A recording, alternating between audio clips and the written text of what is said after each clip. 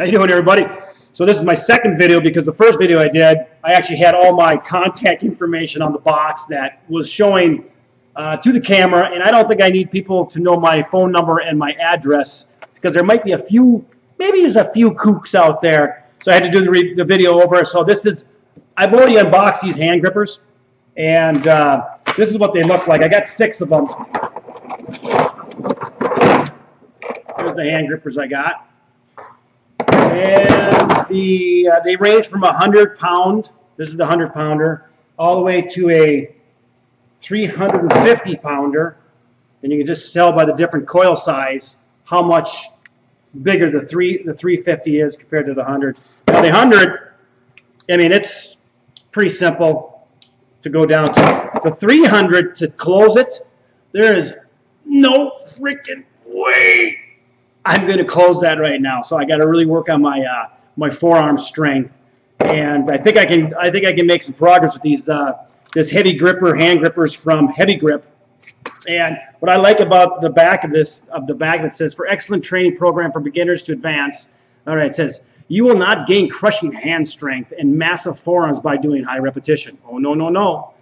Keep the, the repetition low and do several working sets after properly warming up. If you're able to do more than 10 to 15 reps during a working set with your heavy grips, it's time to move to the next strength level.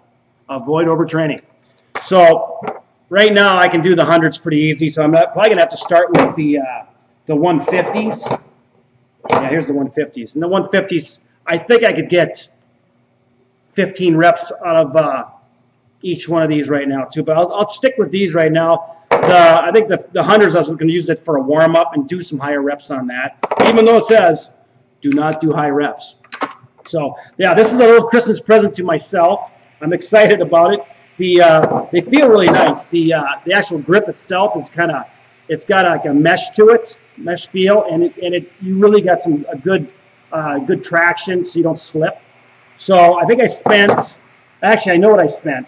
I spent uh, $65 for the six the six grippers, range from 100 pounds all the, three, all the way to 350 pounds. And I got it in five to seven business days. I ordered on the 20th of November. I actually, it's 29th today. So I got it within nine days. And that shipping cost was $13.50. So the grand total was $78.50. I think it's a good bargain. I think it's a very good bargain for these things. Now you just gotta now you just gotta use them and that's what I intend to do at least three days a week to uh, uh, work on the 150, work my way up to the 200, and then so on. The main goal would be to be able to close this 350, and at right now, there is no way I'm going to be able to close that 350. It may take me a year to be able to do that, but I'm up for the challenge. So that's about it, everybody. So that's my unboxing or re-unboxing of the uh, heavy hand grippers. And uh, yeah, give them a shot. I think they're they're a good tool. I think they're going to be a good tool to uh, to to gain some hand strength and some grip strength.